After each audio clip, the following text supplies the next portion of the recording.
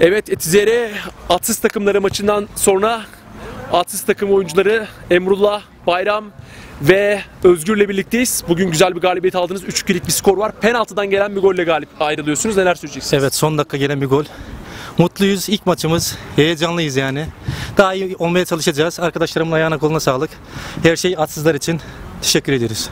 Teşekkürler değerli görüşler için. Emrullah sen de Baba Kartallar'da oynuyordun. Yeni takımın artık atsız takımı neler söyleyeceksin bununla ilgili hem de maçı nasıl değerlendireceksin? Evet daha doğrusu e, bu takımdaki arkadaşlarımı daha iyi, daha yakından tanıyorum. Bugün ilk maçımız inşallah lige renk katacağız.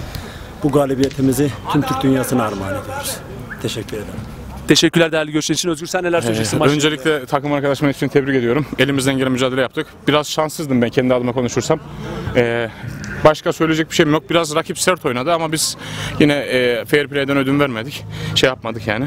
Kazandık, mutluyuz. Bundan sonraki maçlara daha iyi hazırlanacağız. Galip gelmeye çalışacağız. Teşekkürler değerli görüşler için. İlerleyen maçlarda başarılar diliyoruz. Sağ olun.